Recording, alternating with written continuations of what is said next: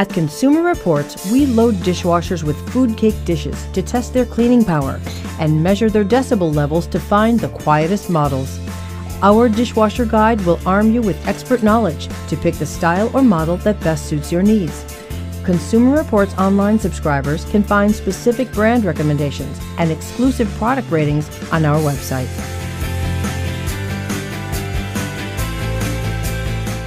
The go to among dishwashers remains the built in model. They range in price from just under $300 to well over $2,000.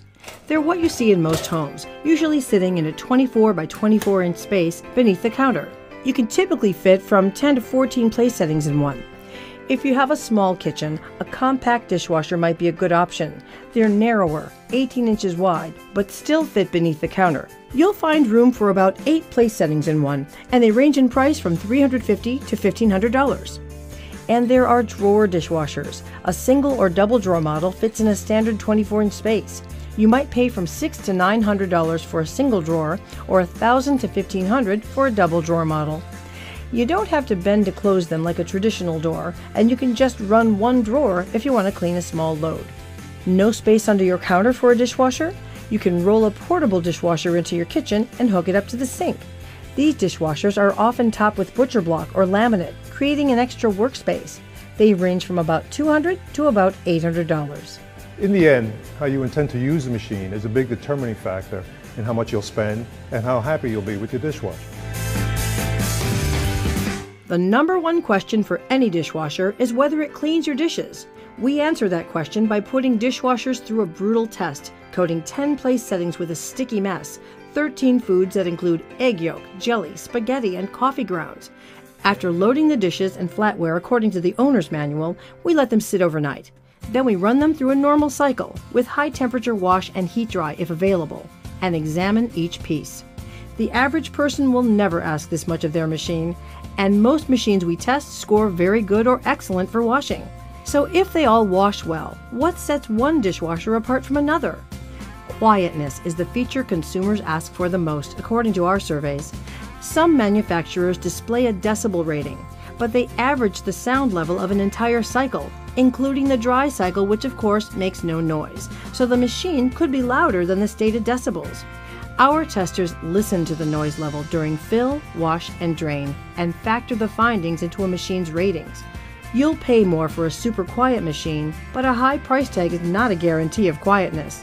We found some high priced dishwashers that didn't get top ratings for noise. You'll want a dishwasher that's easy to load and unload. When you shop, try the adjustable racks. The top one should raise easily to make room for big pots on the bottom. Fold down and removable racks are a plus. Are there flatware slots to keep your knives and forks from spooning? That way, the water jets will be able to hit them all and clean them better. If you want to save loading time, you can open a slider lid on some models and just put the flatware in the basket. However, make sure the fork tines point up, knife blades point down, and spoon bowls point up.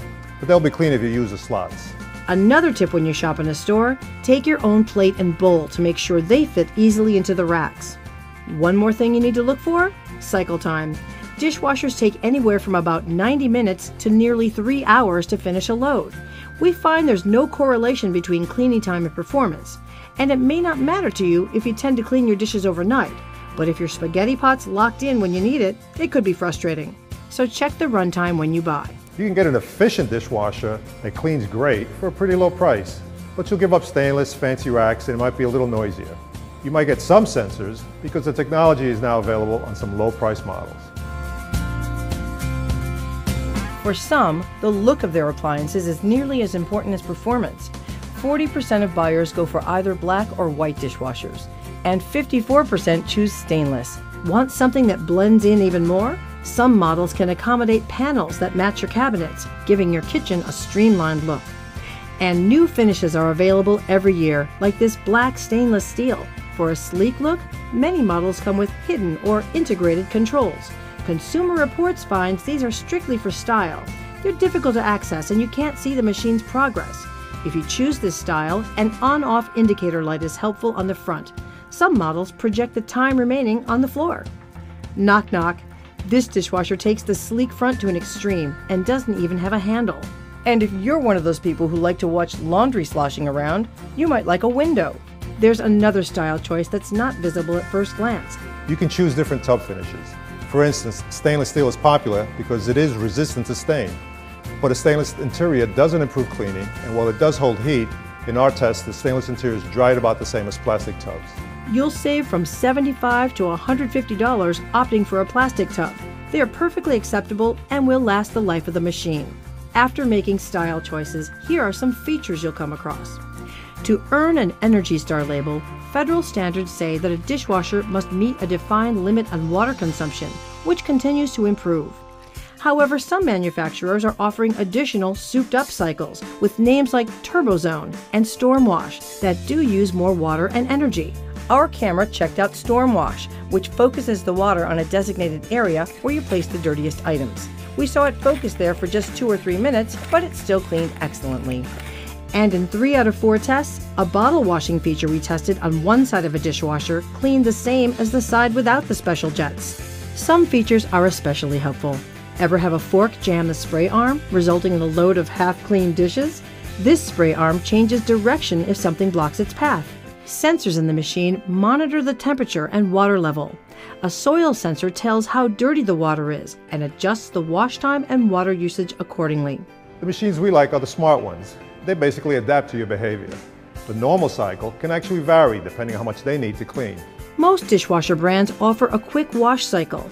They save time and use more water to get the job done faster.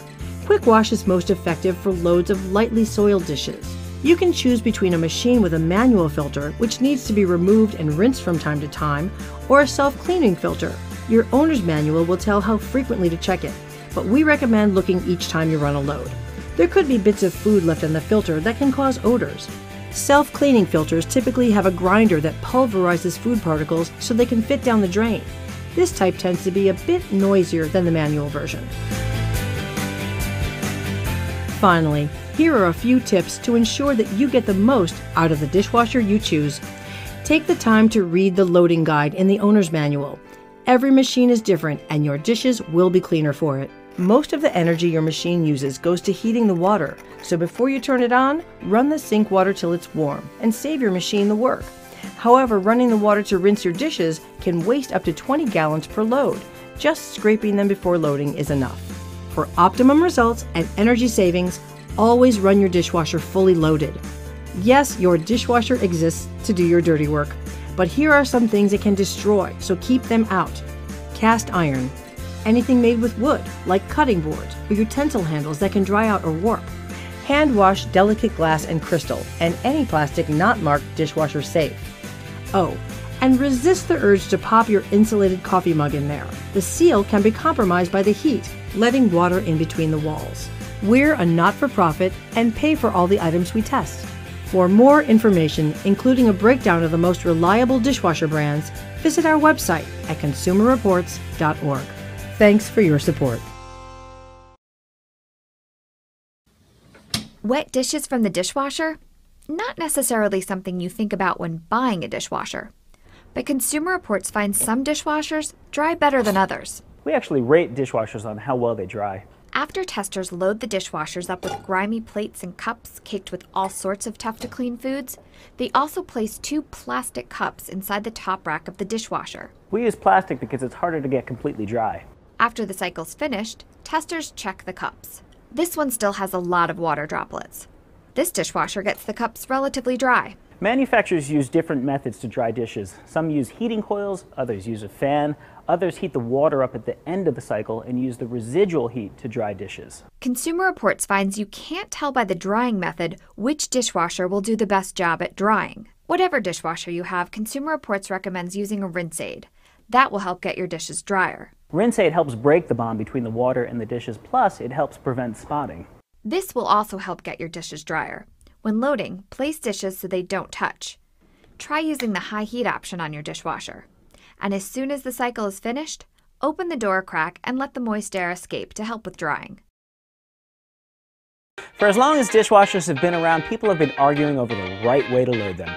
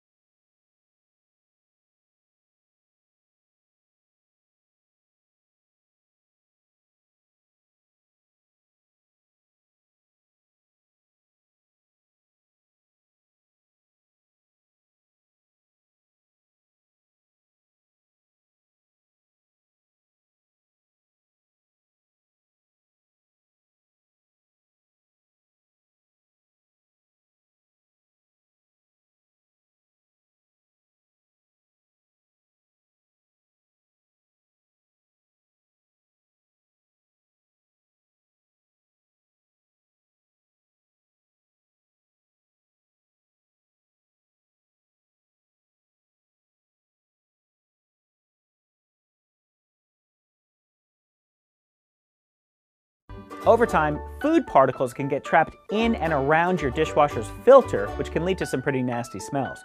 Here's how to keep your machine clean and fresh.